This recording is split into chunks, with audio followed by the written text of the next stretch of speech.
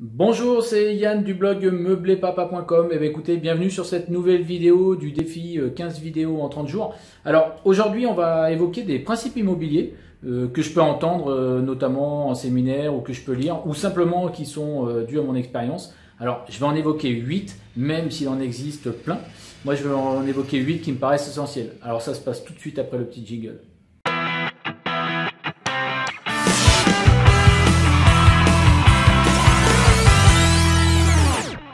Aujourd'hui, euh, je ne réponds pas forcément à une question qui, m'a été posée. Je voulais évoquer huit principes immobiliers qui, me, qui moi, me tiennent à cœur. C'est un grand mot, mais qui me paraissent essentiels. Donc euh, des principes, il y en a beaucoup. Hein, d'ailleurs, euh, je reprends le livre de, Bruno de Bruno Racco qui, parle de 107 principes immobiliers. Je pense que des principes, il y en a plein. On s'en crée plein. On a une manière de voir aussi qui nous est parfois différente, mais il y a quand même des choses essentielles qui peuvent être appliquées par tous. Voilà. Donc euh, aujourd'hui, je vais vous en présenter 8, 8 principes. Et le premier, c'est euh, ce qui me semble essentiel, c'est qu'on doit, quand on achète de l'immobilier, on doit gagner de l'argent tout de suite. Euh, quand je dis gagner tout de suite, ça veut dire quoi? Ça veut dire que chaque mois, quand vous remboursez votre emprunt, il doit vous rester de l'argent. Je l'ai déjà dit des tonnes de fois, la règle des 70, etc.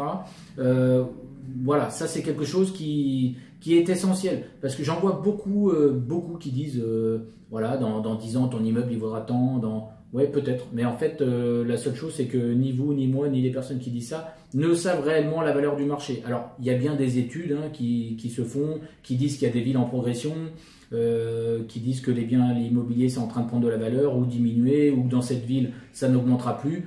Bon, en tout cas, la chose est sûre, c'est que si vous gagnez de l'argent tout de suite avec l'immobilier, vous vous mettez à l'abri de beaucoup de choses. Vous n'êtes pas en train de spéculer sur un avenir euh, qu'on peut déterminer d'incertain, mais en tout cas, vous gagnez de l'argent tout de suite, et ça, c'est très important. Voilà, et la banque, ça, elle adore. Si vous voulez multiplier les emprunts, c'est très important. La deuxième des choses, c'est que c'est toujours, finalement, l'immobilier, c'est toujours le moment d'acheter. En fait, on a c'est pareil, on a beaucoup de personnes qui remettent au lendemain ou alors qui ne font pas, euh, qui n'achètent pas parce qu'elles se sentent pas prêtes, ce qui, peut tout à fait s'entendre. Par contre, euh, il faut, ce qu'il faut surtout pas dire, c'est qu'on entend beaucoup le, euh, côté c'est plus le moment d'acheter, ça coûte trop cher en ce moment. Bon, au final, il y a toujours des excuses pour ne pas acheter. Mais moi, ce que je regarde un petit peu dans les années précédentes et en ce moment, ce qui se passe, c'est que oui, euh, oui, il y a eu des meilleurs moments, mais finalement, euh, on arrive toujours à faire des bonnes affaires en immobilier. Vous aurez toujours des gens pressés de vendre, vous aurez toujours des choses qui sont sous la valeur du marché, vous aurez toujours des choses extrêmement bien placées, euh, qui sont à des endroits où vous allez bien louer. Enfin voilà, il y, a, tout un tas de, de, choses positives qui existent, et ce, à chaque moment, chaque année. Donc, Peut-être que c'était un très bon moment il y a 10 ans pour acheter, mais aussi euh, le deuxième meilleur moment, c'est maintenant. Là, je reprends une phrase que j'ai entendue dans mes séminaires, mais je trouve ça tellement vrai que bah voilà, j'ai trouvé sympa de la répéter. Alors, euh, troisième point, que, troisième principe que je pourrais évoquer en immobilier, il faut minimiser les risques. Et pour minimiser les risques, ce qu'il faut, c'est les connaître. Euh, déjà, le premier des risques, c'est vraiment ça reprend un peu le premier point, c'est d'acheter sans gagner d'argent. Là, vous prenez un risque qui n'est pas du tout, euh, qui n'est pas du tout à prendre. Donc, ça, c'est une première chose. Et c'est aussi pour dire que quand vous allez passer à l'action, vous pouvez minimiser, minimiser les risques euh, en prenant des formations, en vous formant, en faisant attention justement à bien connaître les bases essentielles. Alors, je dis pas ça pour vendre une formation, moi, moi je n'en vends pas. Alors, j'espère que ça va venir, j'espère que je ferai quelque chose d'intéressant en fonction de ce qui m'est demandé, ça c'est sûr. Mais en tout cas, pour l'instant, je n'en vends pas, mais je peux vous assurer que moi, j'en ai fait une, deux, euh, trois, si on considère euh, une autre qui est un petit peu en lien, mais qui n'est pas tout à fait en lien avec pas tout à fait exactement en lien avec l'immobilier. Euh, ce que je peux vous dire, c'est qu'il y a des formations de qualité qui existent, malgré tous les détracteurs, malgré tout ce que vous pouvez voir, qui donnent des bases essentielles et qui donnent des bases essentielles pour se lancer dans l'aventure. Je, suis, sais qu'il y a des fervents de on apprend par la pratique, ça sert à rien d'aller mettre 800 euros dans, une formation ou 1000 euros. Euh, oui, ça sert peut-être à rien euh, dans certains cas, on apprend sur le tas. Dans l'immobilier, attention, attention. De connaître des choses simples au départ, je vous assure que vous allez éviter des catastrophes qui, elles, vont être beaucoup moins simples à gérer. Donc ça, c'est un avis très personnel et je le dis parce que je l'ai vécu par l'expérience. J'ai vu des choses, euh, des choses qui ne... Des, des gens qui sont mis, on va dire, entre guillemets, dans, la misère à cause de, manque de connaissances, tout simplement. Et après, bah, le problème, c'est que là, pour le coup, oui, je suis le premier partisan à dire qu'on apprend de ses erreurs, mais là, les erreurs, elles coûtent très cher. Donc, faire des erreurs alors qu'on s'est formé, on arrive à attraper le coup, ça permet d'apprendre pour les prochains investissements, ça c'est top. Par contre, faire des grosses erreurs parce qu'on a refusé d'apprendre et qu'on s'est lancé euh, sans réfléchir, entre guillemets, euh, là par contre c'est beaucoup moins top. Voilà, ça c'est un principe que je voulais évoquer en priorité et faire aussi un petit clin d'œil à tous les détracteurs des formations. Euh, je ne dis pas qu'elles sont toutes bonnes, mais je vous assure qu'il y en a qui sont d'une extrême qualité et qui sont réfléchies, pensées et qui sont appliquées en fonction des expériences vécues. Ça c'est quand même aussi un point que je voulais souligner. Euh, nouvelle chose, un nouveau principe, euh, on en a déjà parlé dans une vidéo précédente, mais je, je reviens tout petit peu dessus. Ça c'est un principe pour moi qui est très important dans l'immobilier. Il est possible en France, je le répète, sous toutes les formes, il est possible en France de repousser la fiscalité, de ne pas payer d'impôts, de faire en sorte de l'optimiser. Donc, ce qu'il faudrait éviter, et je vais reprendre une expression que je n'arrête pas de sortir en ce moment, ce qu'il faudrait éviter, c'est de se faire des nœuds à la tête avec l'imposition avant d'avoir acheté. Et je, dis ça, c'est aucun jugement, puisque ça permet au moins, quand on y réfléchit, d'anticiper et de prévoir des choses, c'est très bien. Mais par contre, il ne faut surtout pas que ça serve d'excuse ou alors que ça serve de, blocage. Euh, l'imposition en France, on peut la repousser, on peut faire en sorte de ne pas payer d'impôts, même si on a un patrimoine qui dépasse le million d'euros. Hein. Donc, euh, il suffit de se renseigner, de faire les bonnes choses, de se faire accompagner, et ça, va très bien. Donc, euh, l'imposition ne doit pas être la base de, de, de l'immobilier, ça doit être quelque chose d'anticipé, de pensé, de bien réfléchi et de bien fait à la suite des achats de manière à euh, optimiser.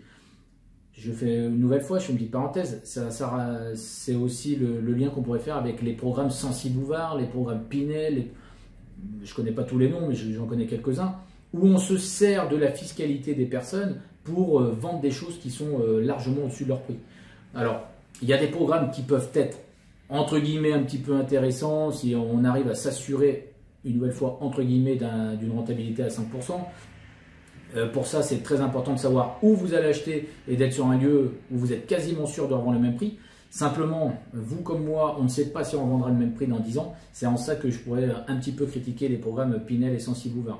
Pour moi, je trouve qu'on s'appuie beaucoup sur la fiscalité des, personnes et euh, en s'appuyant sur cette fiscalité, on, crée, on va dire, euh, bah, des, questionnements. C'est oui, voilà, ça c'est un super moyen de, de réduire ma fiscalité. Alors, un programme, je, mets une petite parenthèse quand même, parce que moi j'ai un copain qui fait des programmes sensibles ouverts, euh, qui tient une assurance euh, à Lussac les, les Églises. Je ne critique pas tout, parce que là je sais par exemple que cette agence, je leur, je leur fais peut-être un peu de pub au passage, mais je sais que cette agence, elle fait très attention à la localisation des biens. Et ça c'est le point primordial, parce que j'ai vu d'autres personnes perdre beaucoup d'argent parce qu'ils n'ont pas pu revendre le bien aussi cher qu'ils l'avaient acheté, simplement parce que la localisation était très mal anticipée. Les, immeubles étaient achetés par les sociétés à des endroits où beaucoup d'immeubles s'achetaient autour, et du coup la revente n'avait plus du tout le même prix. Enfin, la, revente ne se faisait plus du tout au même prix. Donc voilà, euh, il faut être très vigilant si vous êtes partisan de ces programmes-là à la localisation. Bon, je ne vais pas plus loin parce que là, c'est pas du tout le, thème du blog et euh, je sais que c'est du meublé, mais ça n'a rien à voir parce que moi, je parle pas du tout des mêmes rentabilités et je parle pas du tout des mêmes principes.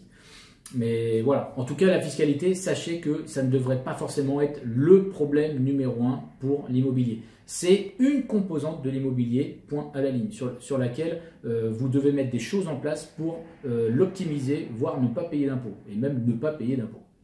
Voilà. Alors, un autre principe en, immobilier, euh, c'est que quand on, achète, il faut prévoir les travaux. Euh, enfin, prévoir les travaux. Ce que je veux dire par là, c'est qu'il faut prévoir tous les travaux. Pourquoi tous les travaux? Euh, Simplement parce que si vous les prévoyez bien à l'avance et que vous n'oubliez rien pour le coup, vous allez tout prendre dans l'empreinte dès le départ. Et ça, c'est une composante qui quand même est très importante. Alors, je sais qu'il y aura des choses qui vont arriver au fur et à mesure des, des locations, vous allez devoir changer un meuble, vous allez devoir faire une réparation quelconque, ça c'est sûr. Mais ce que je veux dire par là, c'est que si au départ vous voyez qu'il y a peut-être des travaux à faire, mais que vous êtes dans l'hésitation, euh, bah là en fait il ne faut plus hésiter. Si vous l'avez vu, c'est que certainement il faut le faire de manière à ce que votre bien il soit prêt tout de suite. Euh, c'est quelque chose que vous allez prendre dans l'emprunt, vous n'allez pas sortir de votre poche, et en plus vous aurez un bien qui est déjà valorisé tout de suite. Voilà, donc ça c'est un point, je vous dis, euh, si vraiment vous l'avez vu, tout de suite on fait les travaux et on n'attend pas, quelques mois où on repousse, ou j'emprunterai une autre fois. Ça pour moi c'est une erreur. Euh, je vous défie d'emprunter un peu plus tard. Il faut, retourner faire des démarches à la banque et en plus, ou sortir de l'argent de votre poche, pire, Et, en plus, il faudra voir avec les locataires. Voilà, moi, ça, j'estime que ce sont des démarches qu'il faut éviter en priorité. C'est une nouvelle fois, c'est se tracasser l'esprit, euh, faire des choses à contre-coup. Vaut mieux avoir quelque chose bien en place dès le départ, sur lequel en plus vous ne sortirez pas l'argent de votre poche. Autre principe en immobilier, euh, il faut avoir, euh, j'ai envie de dire, un capital euh, sympathie élevé. Qu'est-ce que je veux dire par là? Un capital sympathie élevé, c'est que je pense que vous l'avez compris dans, le ton de mes vidéos et dans les thèmes que j'aborde, il est très important de se créer un réseau, se créer un réseau de manière, je vais dire, humaine, humaine et réfléchie.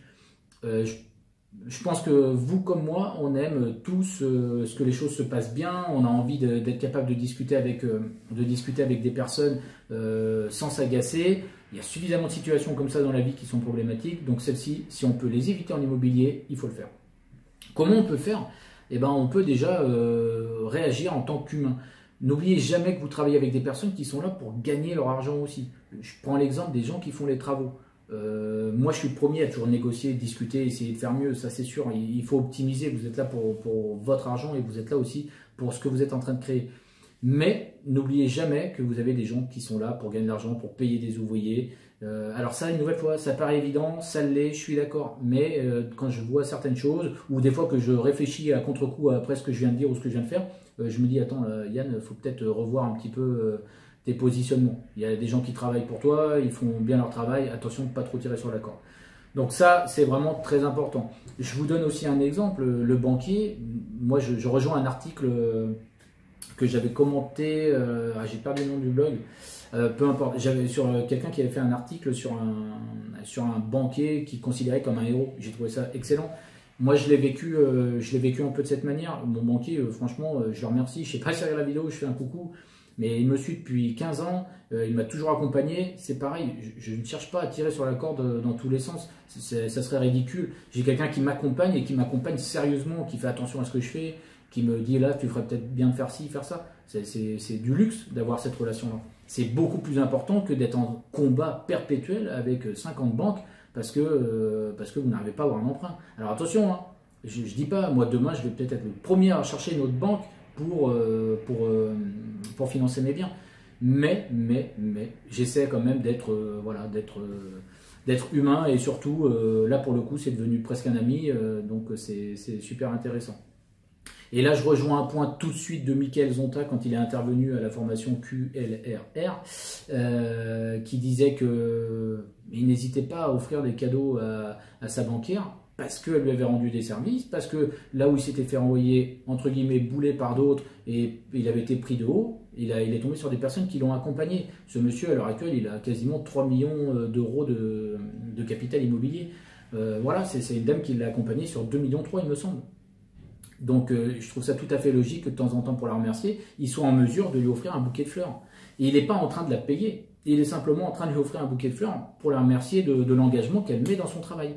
Et moi, ce côté-là, je, le trouve vraiment excellent. Et une nouvelle fois, ce monsieur, un peu à l'image des, locataires dont j'avais parlé dans une autre vidéo, euh, il me donne envie euh, voilà, d'offrir un petit cadeau euh, à mon banquier. Et cette année, notamment, je pense lui offrir un coffret petit ballon pour que, pour que voilà, pour le remercier de, de ce qu'il fait pour moi, et notamment dans le suivi et dans les prêts qu'il m'accorde.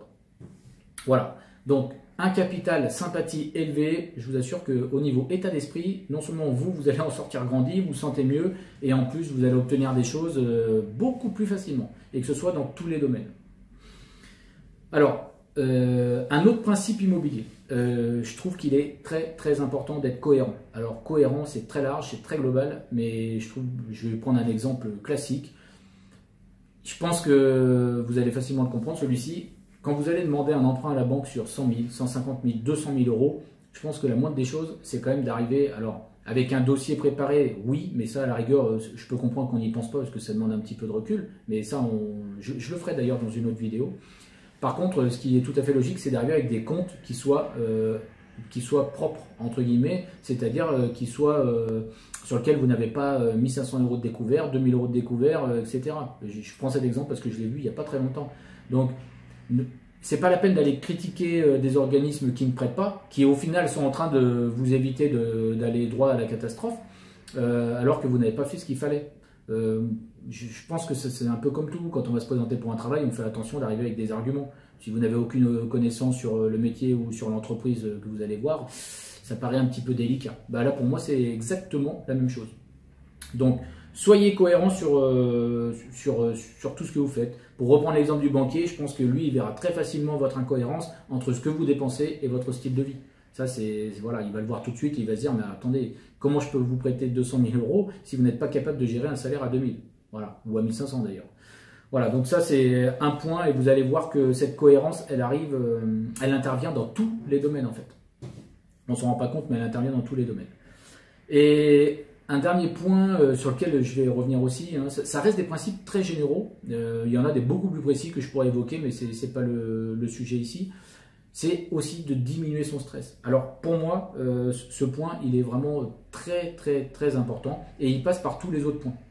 C'est-à-dire que pour diminuer son stress, il faut être à l'aise avec tout ça, avoir compris certains principes, avoir compris certains domaines et faire attention de prendre du recul aussi avec tout ça. Alors, la première chose pour diminuer son stress aussi, ça peut être de se former. Alors, j'insiste avec les formations. Je vous répète, je n'en vends pas, donc c'est n'est pas pour euh, gagner de l'argent, mais c'est simplement pour, euh, pour dire aussi qu'on peut éviter certaines erreurs. Pour le coup, le schéma apprendre et mettre en pratique, là, ça fonctionne. Je suis pas sûr que ça fonctionne tout le temps euh, quand on regarde au niveau de l'éducation nationale, mais par contre, là, pour le coup, je trouve que c'est utile, parce qu'on va vite se mettre dans l'action avec des bases essentielles. Donc se former, pour moi, c'est une diminution de stress importante. Et en plus, vous allez rencontrer des gens qui ont déjà investi et ou qui sont sur le point de le faire. Vous allez rencontrer des formateurs qui possèdent plein de biens immobiliers. Donc euh, voilà, ces discussions-là, je peux vous assurer qu'elles apaisent. Autre chose, euh, si vous voulez vraiment diminuer le stress par rapport à, par exemple, à des loyers, il faut faire des tests. Faire des tests, c'est une base essentielle. Ne pas se fier forcément à une agence qui va vous dire que ça se loue 500 euros, 400 euros. Faites des tests mettez une annonce fictive, mettez en place des choses et vous allez voir par vous-même, ah oui, là c'est vrai que j'ai eu 5 demandes en deux jours euh, par rapport à ce bien-là, peut-être que je pourrais louer 20 euros plus cher. Euh, là, euh, oula, par contre, ça fait deux semaines, j'ai aucune demande, je dois être un peu au-dessus du prix du marché. Ou alors, il n'y a pas trop de demandes dans, ce secteur.